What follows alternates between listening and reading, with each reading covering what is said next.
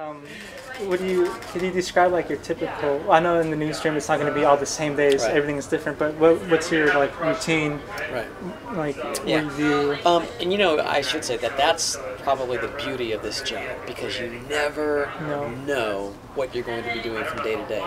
For me, I anchor on the weekends, and so it's pretty much staying in, in the building and reading scripts for the 6 o'clock and the 11 o'clock news. But it's the other days that I really like, uh, the three days a week where I'm reporting. And typically a day is set up where at 9 o'clock every morning we have an editorial meeting. So all the reporters, the producers, the managers, throw out story ideas, and then they decide which of those story ideas that we're going to cover for that day's newscast. And so that's uh, pretty much how it works. But that's not to say that your story will change in the middle of the day. Maybe that story you're assigned isn't working out. Or uh, in my case, um, on Friday, I was working on a story that had to do with President Obama changing the minimum wage or salary um, structure for employees.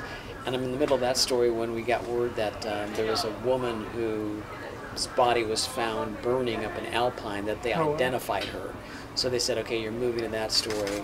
And so in the middle of the day, you know, my story changed and we started gathering information on that. And it was interesting because on that day, I started out as an MMJ working by myself. Then when the story changed, they assigned me a photographer because we had to go out and do them. The anticipation was that we were going to be live somewhere. Oh. And so that's why I needed a photographer for a live shot.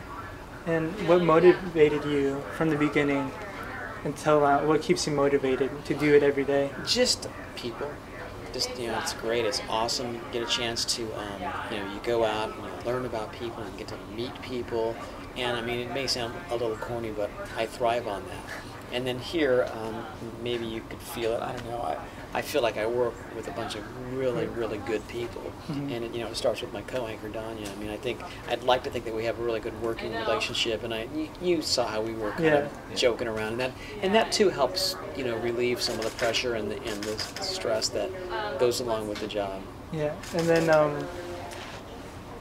would you what would you consider your most significant project or accomplishment in your career? Raising my two kids.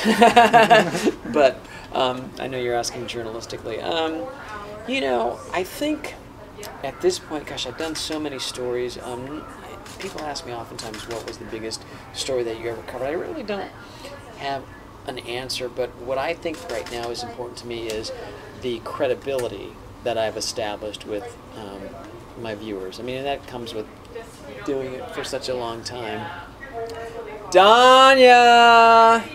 and so I'm talking about you.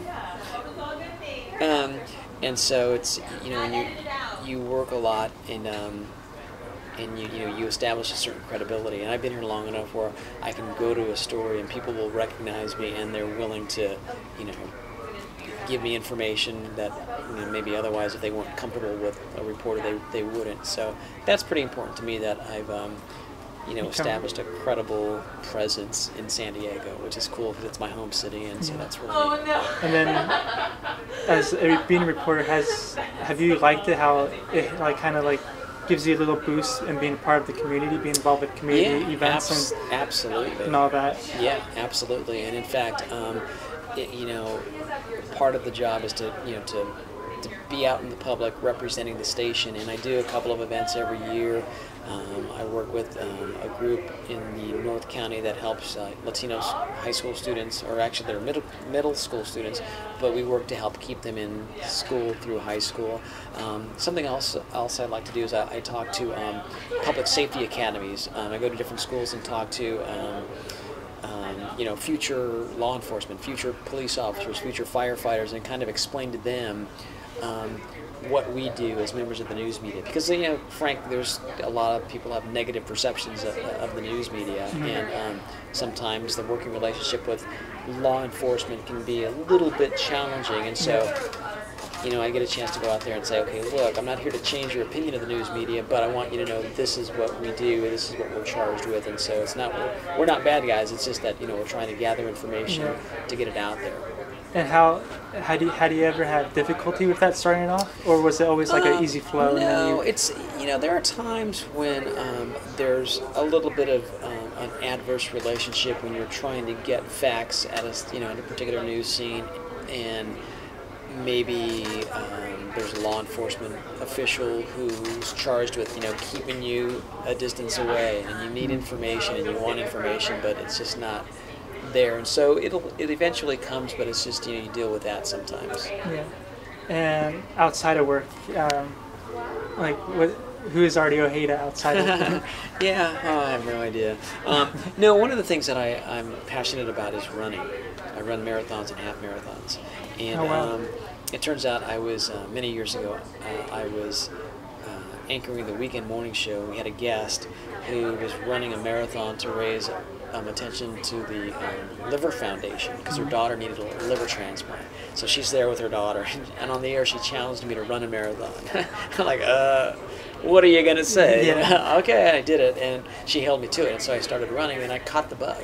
And so, you caught, so uh, you caught the bug from meeting like a meeting in person yeah, with your job. Wow. Exactly. Yeah, and so uh, you know that was in the year 2000, so that was 14 years ago, and I, gosh, I've, I've probably run about 18 or 18 to 20 marathons and countless other half marathons, and so I'm a, I'm pretty well known in the running community around here. So yeah.